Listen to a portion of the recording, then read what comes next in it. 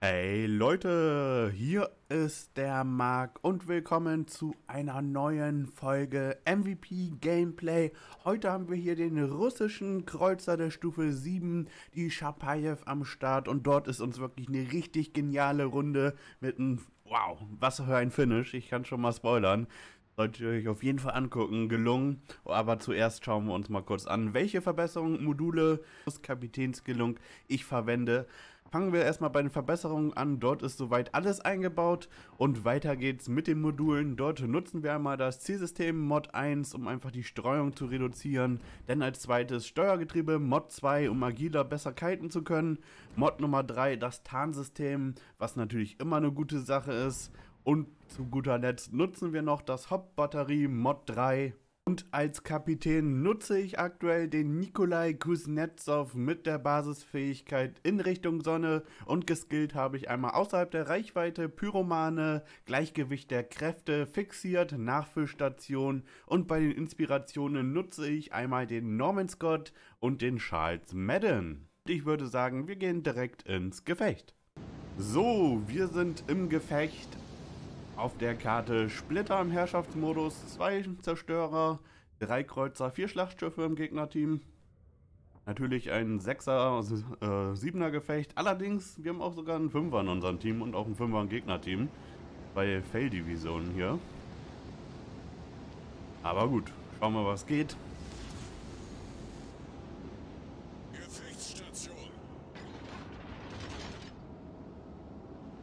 Fahren natürlich hier ein bisschen nach vorne. Versuchen vielleicht hier die rechte Insel da gleich ein bisschen als Deckung zu nehmen. Und zur Not uns so in die Position zu bringen, dass wir dann auch gleich kiten können. Je nachdem, was hier bei C aufgeht. Müssen halt aufpassen, dass wir keinen Holzfeuer von rechts bekommen. Da haben wir auch direkt eine Jean Bart. Da wollen wir natürlich schön schon mal raufschießen. Bremsen jetzt hier mal. Vielleicht können wir jetzt hier sogar ein bisschen unentdeckt schießen. Das wäre natürlich optimal. Direkt einen Doppelbrand gemacht. Das ist super. Na, gehen jetzt hier aber doch auf. Hat er wahrscheinlich gelöscht. Ja, natürlich. Aber schon 9000 Schaden. Fährt rückwärts können wir natürlich super hier mit unseren Torpedowinkeln überprüfen. Dort fährt eine Atlanta. Versuchen wir natürlich drauf zu schießen. Lombard fährt halt auch rückwärts jetzt aus unserer Reichweite raus. Wir können natürlich noch versuchen, dann mal raufzuschießen, aber da werden wir nicht treffen können. Dementsprechend versuchen wir jetzt hier vielleicht mal die Atlanta ein bisschen zu treffen. Oder hier auch bei B zu supporten. Haben jetzt direkt eine Zita von der Jean Bart bekommen. Einmal nicht hingeguckt. Direkt beim Drehen können wir natürlich auch kaum gegenheilen. Das ist natürlich jetzt ein bisschen, schon ein bisschen unangenehm. Speziell, weil ich jetzt auch in der Mitte bin. Ich habe auch, dadurch, dass vor uns rechts die Insel ist, jetzt nicht so viel Möglichkeit rauszudrehen. Das heißt, wir müssen jetzt hier wirklich reindrehen. Aber wir sind äh, zugegangen, dadurch, dass äh, sich der Kreuzer in der Mitte genebelt hat. Das C-Cap kriegen wir auf jeden Fall. Dort ähm, brauchen wir auch nicht hart supporten. Gegnerteam fährt dort einfach weg. Oh, aber Jetzt ist unser Zerstörer aus dem C-Cap rausgerutscht. Sehr ärgerlich. Kurz bevor er durchgecapt hat, ist er rausgefahren. Halt, na, ist schade. Sowas ist halt immer ein bisschen unnötig. Ohne irgendwelche Gefahr dann aus dem Cap rausfahren. Das Cap hätten wir bekommen. Unsere Benson in der Mitte hat schon kassiert. So, dort haben wir die Jean Bart. Oh, da haben wir die Mars. Der Zerstörer, der auf unserer Seite gestartet ist. Gucken wir mal. Auf 12 Kilometer dort zu treffen ist natürlich nicht so easy. Ah, 600 wenigstens. Ah, die Edinburgh, die schießt jetzt wieder. Oder die Edinburgh, besser gesagt. Machen jetzt Radar an, damit die aufgeht. Fahren jetzt auch wieder vorwärts. Sind jetzt schon relativ runtergedroppt von Leben. Hälfte vom Leben verloren. Ich habe hier keine gute Position gerade in der Mitte. Hoffe, wir können jetzt doch irgendwie noch an der Insel vorbeikommen. Immerhin hat unser Radar uns mehr oder weniger dazu gesaved, dass äh, sich der Kreuzer dort zurückgezogen hat.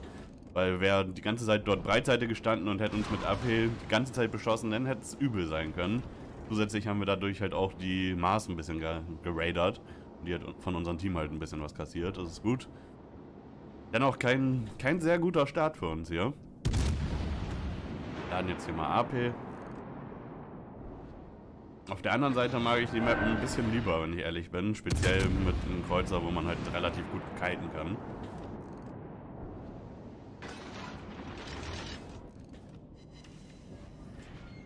Haben jetzt wieder auf HE geswitcht. AP wäre natürlich super gewesen. Aber ich habe nicht damit gerechnet, dass er jetzt hier gerade rausfährt. Oh, beacht er sich da? Hm. Hat jetzt auch hart kassiert, sehr schön. Muss natürlich jetzt rückwärts fahren. Schauen wir mal, ob unsere Salve da reicht für den Kill. Ah, nicht ganz. Und unsere Benson leider auch rausgegangen. Genau wie unsere Leander. Zwei Schiffe jetzt hier schon verloren. Aber Edinburgh ist jetzt hier raus. Haben aber wie gesagt auch schon zwei Schiffe verloren. Gucken wir mal, ob wir hier auf die Atlanta noch irgendwie raufkommen. Die Entfernung ist natürlich auch nicht so einfach. Links haben wir halt immer noch die äh, Bart, die wir am Anfang schon beschossen haben. Gucken wir mal, ob wir da gleich raufkommen. Oh, und die Edinburgh hat noch unsere Nelson rausgenommen. Eieiei, das ist richtig ein bitter. Drei Schiffe haben wir jetzt hier an der Stelle schon verloren. Und ich bin halt auch schon vom Leben her, ja, halb tot.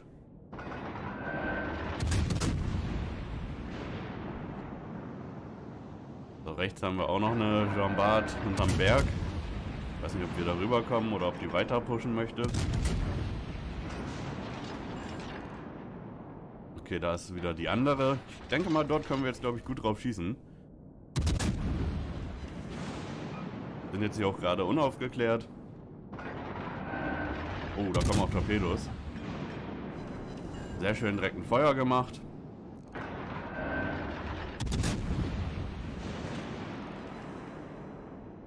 ...40.000 Schaden mittlerweile erreicht. Sehr, sehr schleppender Start. Selber auch nicht die beste Position gehabt hier in der Mitte.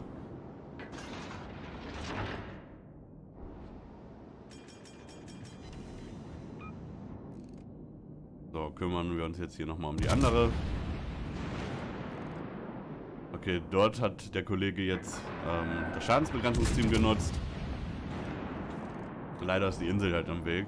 Vielleicht haben wir Glück und kriegen gleich mal links nochmal ein Permafeuer rauf, aber ich denke mal eher nicht. Ne, vier Treffer, aber leider kein Feuer. Schade. Dann gucken wir mal, ob wir uns hier um die andere Jean Bart kümmern. Ah, die brennt, oder? Ist das, ist eine Reparaturmannschaft? Ich bin mir nicht sicher, oder? Hat ein Feuer.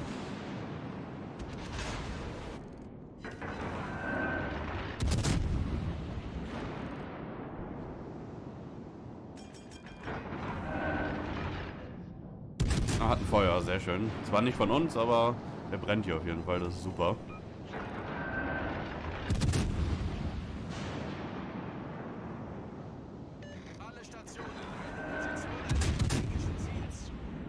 die Aufmerksamkeit haben wir jetzt hier auch wieder. Haben jetzt leider schon das nächste Schiff verloren. So, haben jetzt auch ein Feuer wieder gemacht. Sehr schön.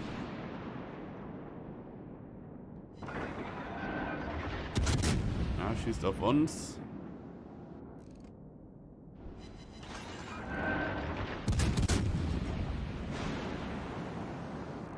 Versuchen hier immer so ein bisschen mit einem beschleunigen Gas geben zu spielen. Aber das sieht sogar gut aus. Ja, ein bisschen zu hoch geaimt.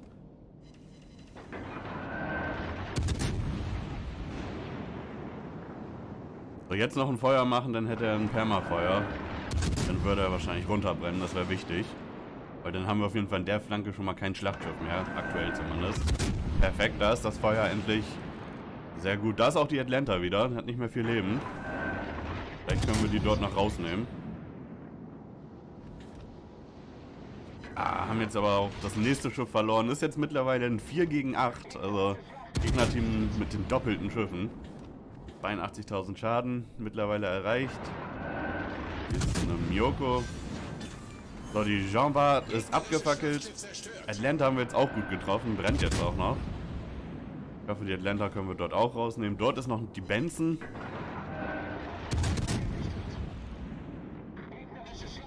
Ah, wird schwierig. Ich weiß nicht, ob ich dort die Atlanta treffe. Wenn ja, dann ist raus. Oh, ich treffe sie, aber es hat nicht gereicht. Nur 600 Schaden. Aber sie ist raus, sehr schön. Das war wichtig. Ganz knapp unseren dritten Kill hier verpasst. So, Jean Bart hat eben das Schadensbegrenzungsteam genutzt, deswegen versuchen wir jetzt hier auch das Feuer zu machen. Dort haben wir eben einen Doppelbrand drauf gemacht. Perfekt. Und nochmal einen, einen Doppelbrand hinterher. Das heißt, der Kollege brennt jetzt auch ein bisschen.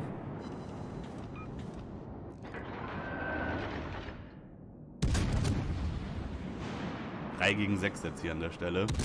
Wird auf jeden Fall ein richtig, richtig hartes Game. Ich glaube nicht, dass wir es noch gewinnen können.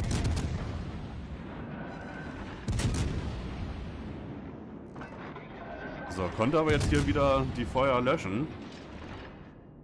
Das heißt, wir wollen jetzt hier nochmal äh, ein bisschen rumfackeln.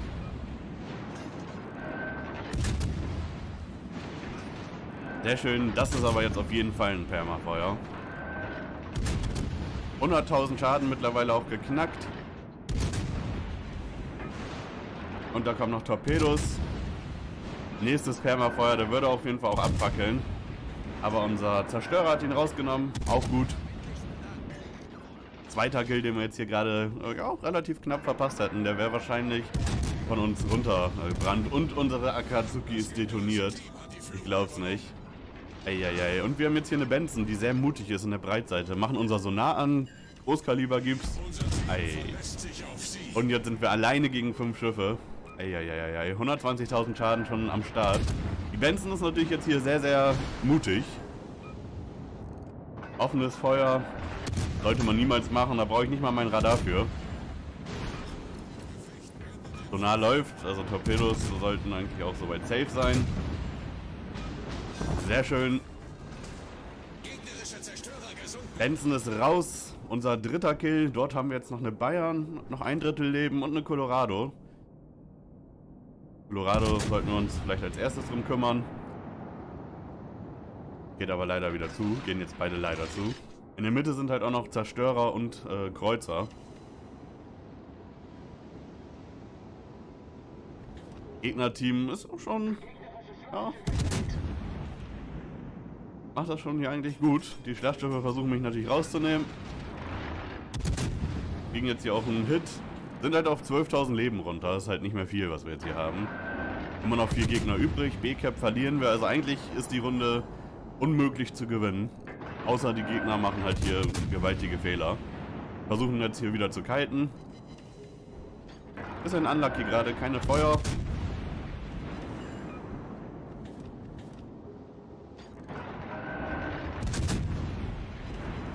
Ah, jetzt haben wir ein Doppelfeuer bekommen auf die Colorado. Super, hat auch direkt äh, repariert, ist natürlich klar. Yes, jetzt heißt es, dort noch ein Feuer zu kriegen oder ein, zwei gute Treffer sollten auch so ohne Feuer reichen. Sehr schön. Kill Nummer 4 jetzt hier an der Stelle. Zünden jetzt hier auch unsere letzte Reparaturmannschaft, um nochmal vielleicht auf ah, 14.000 Leben, nicht mal ganz, hochzukommen. So, da haben wir jetzt noch die Mars. Die ist halt auch sehr, sehr mutig jetzt. Dadurch, dass äh, ja, eigentlich das Game quasi gewonnen war schon für die Gegner. Ähm, eröffnen jetzt hier alle das, äh, das Feuer. Das ist natürlich angenehm. So ein Zerstörer, den können wir natürlich hier gerne runterhauen. Einem Treffer, dann ist er auch schon raus. Und links von uns ist halt auch noch hier die Miyoko. Gegnerischer Zerstörer versenkt. Ist halt auch schon relativ low gewesen. Haben wir auch schon ein bisschen bearbeitet gehabt. Na komm. Versuchen jetzt halt so ein bisschen frontal auf die Bayern zuzufahren, dass wir dort keine Breitseite zeigen. Und hoffen, dass halt die Miyoko weiter mit HE schießt. Macht sie auch. Miyoko ist raus. Kill Nummer 6 jetzt hier sogar. Bayern hatte gerade eben geschossen. Deswegen versuchen wir jetzt hier den Turn zu machen. Wir haben zwei Möglichkeiten. Entweder wir versuchen den Turn in den 30 Sekunden hinzukriegen. Oder wir versuchen halt auf die Bayern zuzufahren und dort halt äh, mit den Torpedos quasi zu arbeiten. Aber ich denke mal, dadurch, dass er gerade geschossen hat, ähm, sollten wir den Turn hier eigentlich... Ja, doch. Ah, es könnte knapp werden. Ja, das war lucky zugegeben. Das war lucky zugegeben. Hat auch schon direkt ein Feuer repariert und kriegt jetzt einen Doppelbrand. Eieiei, gewinnen wir das echt hier noch? Das wäre es ja noch. 1 gegen 5 war es übrigens.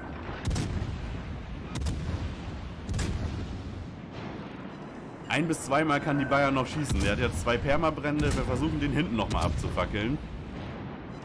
Halten natürlich weg. Da schießt er wieder. Drehen jetzt wieder nach außen raus. Sehr gut, sind damit auch vorbei. können natürlich jetzt die Frontgeschütze nicht nutzen, aber das war halt wichtig auszuweichen. Und ich denke mal, er kann nicht mehr schießen. Fackelt jetzt ab und yes, Leute, yes. Einzelkämpfer. Nice. Richtig, richtig nice. Bitte, was war das denn für ein Game? Wir haben natürlich, man muss es vorweg sagen, wir haben natürlich einfach profitiert, dass das Gegnerteam natürlich gierig wurde. Es wurde einfach gierig. Es war eine 1 gegen 5 Situation. Und natürlich, also das kennt ihr vielleicht auch von euch selber, wenn man selber noch 5 Schiffe hat und ähm, es lebt halt nur noch einer und ich hatte halt auch nur noch, weiß nicht, 12.000 Leben oder so, wo ich dann in der 1 gegen 5 Situation war. Dort ähm, ja, versucht man doch dann noch mal ein bisschen seinen Schaden zu erhöhen. Speziell auch die Zerstörer wollten jetzt noch ein bisschen ähm, ja, einfach rumballern, ein bisschen mich äh, runterhauen.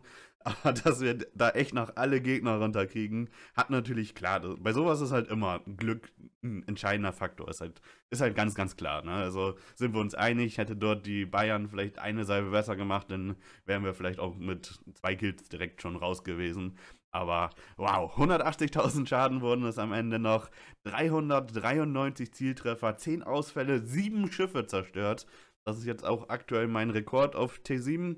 Sieben Schiffe habe ich vorher noch nicht geschafft. Sechs habe ich schon ein paar Mal, glaube ich, geschafft, aber sieben bislang noch nicht. Und man muss halt sich überlegen. Das war jetzt auch gar nicht so weit weg, dass wir hier ein 9-Kill-Game ähm, hätten. Wir haben die Atlanta ähm, mit irgendwie ja, 200, 300 Leben stehen lassen. Wir haben sie ja wirklich nochmal mit 600 Schaden am Ende getroffen. Das heißt, die Atlanta, die hätten wir durchaus auch kriegen können. Und die Jean Bart, die wir halt nicht bekommen haben, dort hatten wir halt ein Doppelpermafeuer, die wir halt auch von uns abgefackelt. Also es war wirklich richtig knapp dran, dass es hier 9 Kill ähm, oder neun äh, Schiffe zerstört ähm, Runde hätte werden können. Aber ich bin natürlich froh, dass wir die Runde gewonnen haben. Ich weiß, ich habe jetzt auch nicht äh, die krasseste Überrunde gespielt. Gerade am Anfang habe ich ähm, sehr unglückliche Positionen meiner Meinung nach gehabt. Aber das war auf jeden Fall ein richtig, richtig geiles Spiel. 23 Brände ist über äh, fast 400 Zieltreffer. Ja, relativ in Ordnung. Teilweise hatten wir so mal ein bisschen Durststrecke. Aber dann kamen halt auch wieder die Feuer alle auf einmal. Das war natürlich super. Neunmal noch das Cap resettet. Ein Sekundärtreffer. Dann haben wir den Einzelkämpfer. Auch mein allererster Einzelkämpfer auf Tier 7, den ich jetzt hier bekommen habe. Und vor allem auch, ich glaube, das ist mein zweiter mein zweiter Einzelkämpfer, der wirklich richtig erarbeitet war. Meistens äh, sind ja wirklich Einzelkämpfer, ähm, wenn man quasi alleine ist, aber das, das Team hatte irgendwie die ganze Zeit die Map-Kontrolle und durch die ähm, ganzen Punkte ist es halt schon so, dass man ab und zu mal einen Einzelkämpfer bekommt, äh, weil einfach man der letzte Überlebende ist und das Team halt einfach alle Caps hatte oder man selber die vorher geholt hat und man überlebt und kriegt dadurch einen Einzelkämpfer. Ist aber jetzt auch erst mein zweiter Einzelkämpfer, den ich mir hier wirklich erarbeitet habe, wo ich halt alle verbleibenden Schiffe dann auch dementsprechend getötet habe. Es waren sogar fünf, also für Einzelkämpfer muss man ja gegen vier Schiffe alleine äh, das Ganze schaffen. Wir haben es sogar gegen fünf Schiffe geschafft. Also ist mir auch noch nicht gelungen. Quasi eine Krake gemacht, wo wir halt keine Mitspieler mehr hatten. Das war halt unfassbar, die Runde. Unterstützer, Krake und Großkaliber gab es dann obendrauf noch. Und wir schauen uns natürlich auch das Teamergebnis an. Dort sind wir auch mit Abstand auf den ersten Platz gelandet. Wir haben fast das Doppelte an Basis-EP wie der zweite bei uns im Team. Also das ist halt schon ziemlich heftig, würde ich sagen. Richtig, richtig starke Runde. Im Gegnerteam hatten wir auch wirklich ernstzunehmende Gegner. Einmal Jean Bart und Miyoko, beide hier mit Großkaliber am Start gewesen konnten wir, ich weiß gar nicht, welche Jean Bart wir jetzt äh, killen konnten. Bin mir nicht sicher. Ich glaube, ähm, die auf Platz 3. Also die einzigen zwei Schiffe, die uns durch die Lappen gegangen sind, ist einmal die Atlanta und die erstplatzierte Jean Bart, die wir halt durchaus beide auch hätten kriegen können. Also es wäre halt krass gewesen, wenn es hier ein 9-Kill-Game gewesen wäre. Das äh, ist mir auch noch nie gelungen. Also 7 Kills ist auch mein Maximum bis jetzt. Selbst 8 Kills habe ich bis jetzt noch nicht geschafft, aber es kann ja noch. Schauen wir mal, da muss einfach alles zusammenlaufen bin so happy, dass wir diese Runde hier gewonnen haben. Das war, das war einfach krass auf jeden Fall.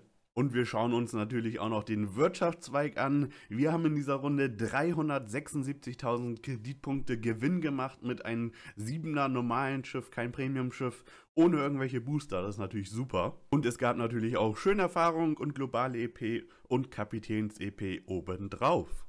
Und das soll's mit der heutigen Folge MVP Gameplay gewesen sein. Eine richtig, richtig geile Runde hier in der Chapayev. Hätte ich wirklich nie im Leben dran äh, gedacht, dass wir das noch gewinnen können. Es ist natürlich so, wir haben gewonnen, weil die Gegner einfach gierig waren, aber da hätte wahrscheinlich auch keiner von den fünf verbleibenden Gegnern mit gerechnet, dass wir, dass ich halt alle noch irgendwie kriege. Na, viele waren natürlich schon ähm, relativ low und die äh, Zerstörer, die waren halt relativ schnell runtergeschossen, sage ich mal. Das war natürlich super. Richtig, richtig geile Runde. Ich hoffe, es hat euch auch so gefallen wie mir selber. Das war richtiges Herzklopfen beim Spielen. Lasst ein Like da, ein Abo wäre spitze. Schaut in die Videobeschreibung. Dort findet ihr meinen Twitter-Account, meinen Twitch-Kanal, meinen Discord-Server. Schaut dort gerne vorbei. Ich würde mich freuen. Und wir sehen uns dann beim nächsten Mal, Leute. Haut rein. Ciao, ciao.